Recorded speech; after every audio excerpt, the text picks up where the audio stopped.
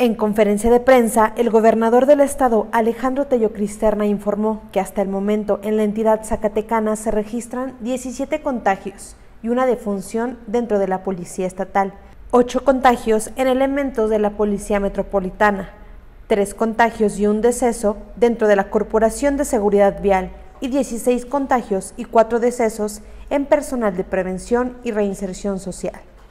Y algo que nos preocupa mucho, también debido a la difícil situación en el tema de violencia que está azotando a nuestro país, pues es el que se contagien nuestras corporaciones.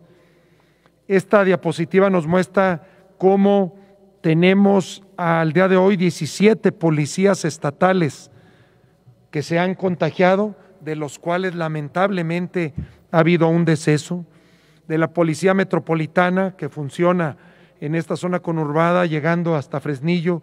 Han sido ocho compañeros, afortunadamente ninguno ha fallecido y están en recuperación.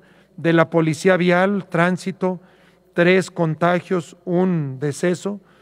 De la Dirección de Prevención y Redactación Social, Cerezos, un número grande de contagios, 16 y cuatro cuatro lamentables decesos. Al final tenemos al día de hoy de nuestras corporaciones de seguridad pertenecientes al Estado 44 contagios y seis lamentables decesos.